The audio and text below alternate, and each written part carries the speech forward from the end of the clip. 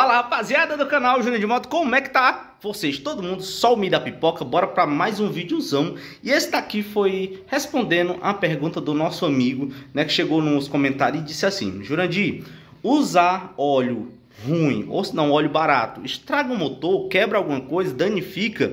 E a resposta, se caso a sua moto não for uma varetada dessa daqui, uma noventinha, ou se não um motorzão 2000 varetado até 2008 pode ter certeza que vai estragar aí rápido. Nesses daqui vai danificar, mas vai ser a longo, longo prazo. Esse daqui foi um motorzinho feito para aguentar desaforo. Aqui dá para você botar até óleo de panela e ele aguentar aí quase uns 100 mil km, 150 mil km. Agora, motorzão 160 a partir de 2015 meu amigo, motor bem mais sensível, como a galera chama, motor de manteiga, né, pessoal? Não pode levar um esquente que derrete. Brincadeira, mas de, de certa forma a gente tem um pouco de verdade nisso que a gente fala. Por quê? É um motor que tem um óleo muito específico. E esse óleozinho mais barato, pessoal, ele costuma ser muito ruim. Vocês podem ter certeza que ele não vai, não vai fazer uma boa lubrificação. E não sei se aconteceu na cidade de vocês, mas eu aqui tirei até o adesivo desse daqui, porque muitas vezes desse mais barato vinha um, uma goma no fundo, uma formação de borra que virava tipo uma bola, né? Dele tá tipo dessa, nessa posição, ele juntava, né? Parece que é uma espécie de produto que eles botavam dentro para tirar algumas impurezas e para clarear, quase que não sai para clarear a coloração do óleo. Por quê? A maioria desses óleos mais baratos ele é 100% reciclado, tá? Quase 100% reciclado. Para não dizer 100%, ele vai ter que ter alguma outra misturinha, né? Então, ele é quase 100% reciclado. Para quem não sabe, até os óleos melhores, né, óleos bons, eles têm que ter uma pequena porcentagem de óleo reciclado dentro. Isso por lei. Para quem não sabe, tá? Eu gosto de usar aquele Petronas, né? Para quem não sabe, tem um óleo com o nome Petronas. Eu uso até no meu carro também ele é um óleo, segundo que me informaram, um óleo virgem. Não tem adição de óleo né, reciclado dentro dele, na, na, na, na, na formação dele, né, na produção dele, vamos dizer dessa forma, tá? Então eu gosto de usar ele. Ele é um óleo francês, né? Aí, se eu não me engano, é, se eu tiver errado, pode me corrigir. Aí, pessoal, um óleo desse daqui para um motor antigo, ele vai durar bem, tá? Vai durar bastante, o desgaste vai ser a, longa a longo tempo, a longo prazo. Mas no motor novo, pessoal, que ele exige muito um óleo específico, por exemplo, a 160, tem que ser o 1030, né? O 10W30 e vamos dizer que um semi-sintético para poder aguentar bem mais, né, o motor e para fazer realmente a proteção que ele precise, precisa, né? E quanto mais caro o óleo é, pessoal, mais vai ter uma carga de aditivo dentro desse óleo para que faça a proteção do motor em todo o seu processo de funcionamento. Vamos dizer, ele frio, ele quente, em alta velocidade, em baixa velocidade, ele trabalhando parado, né? Por exemplo, uma coisa que ninguém conta na hora de trocar o óleo é que maioria de quem trabalha de entrega maioria do tempo também ele passa com ela parada e funcionando, tá? Muitas vezes você chega para fazer a entrega, a moto fica funcionando.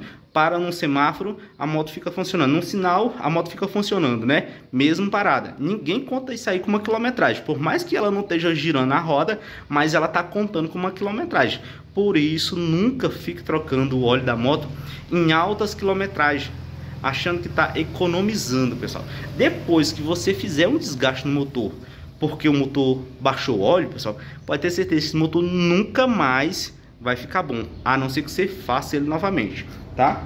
E a resposta é do rapaz é, estraga sim. Nesse motorzinho varetado, se for um motinho mais antigo, dá para rodar até com óleo de cozinha, para vocês não para você que não sabe. Agora esse motorzinho mais novo, pessoal, tem que ser óleo bom.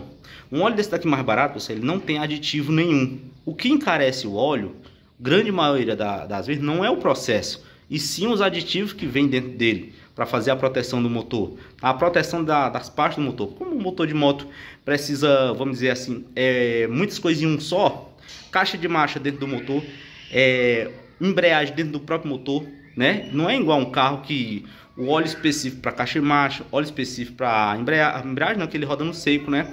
E o óleo específico para o motor, tá certo? E no caso da moto não, ele tem que vir com aditivo para ajudar a durabilidade da embreagem, da caixa de marcha e um bom funcionamento do motor. E sempre lembrando que esse óleo que você usa no motor, ele sempre é contaminado. Então, tem que lembrar também que ele não vai ficar purinho até chegar na quilometragem, não. Ele vai ficar contaminado de resíduo da embreagem, que ele roda dentro da embreagem, né? Por isso ele tem os aditivos para não ter tanto desgaste. A caixa de marcha vai soltar, soltar limalhas, muito pouco, né? Todo, todo ali um sistema é, é, metálico, ele, ele roça um no outro. No caso, o que ajuda a deslizar é o óleo e acaba que tendo esse desgaste. Esse, essa limalhazinha formada, né? Ele vai para o óleo, passa pela bomba de, de óleo e jogada para todo o sistema do motor. Então, pessoal, tem que levar em consideração que esse óleo ele pode ficar ruim antes do tempo. E também tem que levar também a questão de que depende do tipo de uso que você está na sua moto. Uma moto que vai todos os dias deixar as crianças na escola, na, comprar pão, fazer as compras, não é a mesma situação de uma moto que sai todos os dias para entregar os pão, e ou senão para entregar as compras, né? Que é uma moto que é de trabalho. É diferente, pessoal. Então, muitas das vezes, o pessoal é, fica chateado comigo em relação que eu falo que eu troco o óleo da minha moto com 1000 km. Aí muitos dizem assim, não, isso aí tu tá vivendo no passado. Isso aí é coisa do passado, que antes não tinha um óleo com tantos aditivos como tem hoje e trocava com 1000 km, né? Beleza, tudo bem.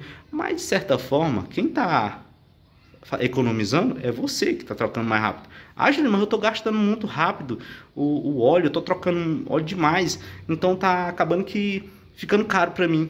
Sim, mas quando você desgasta o motor, vai ser muito mais caro e de uma vez só, tá certo? Então é bem interessante, pessoal. A questão do óleo, use o óleo que o manual da sua moto pede, tá? Se ela pedir um 1030, use 1030. Se ela mandou rodar 3.000 km, 6.000 km, eu já não recomendo. Eu, no meu ponto de vista, 6 mil quilômetros, jamais. Mas só que muita gente não entende. 6 mil km, mas é conferindo o nível do óleo na vareta. Se ele tiver baixo, completar com o mesmo tipo de óleo. Só lembrando, pessoal, tem que ser o mesmo tipo de óleo. Você tem que comprar duas garrafas de óleo, 2 litros de óleo. Um para colocar no motor e outro para ficar completando. Vamos dizer que sai quase a mesma coisa. Vamos dizer que você rode 2.000 km, né? Mesmo completando, que essa moto 160, ela não chega a 1.000 km sem baixar óleo. Pouquíssima delas chega, tá? E quando chega os 1.000 km, baixou o óleo e o óleo é bom, que dá para aguentar mais, completa, tá? Aí sim você vai conseguir rodar bem mais com um óleo só mas só completando com aquele segundo que você comprou, né? Tem essa questão, tá bom? Então, valeu, espero que tenha respondido a pergunta do nosso amigo. Eu me enrolei um pouquinho em algumas partes, mas saiu bom, tá bom? De certa forma, eu acredito que dá para entender, né, rapaziada? Até o próximo vídeo.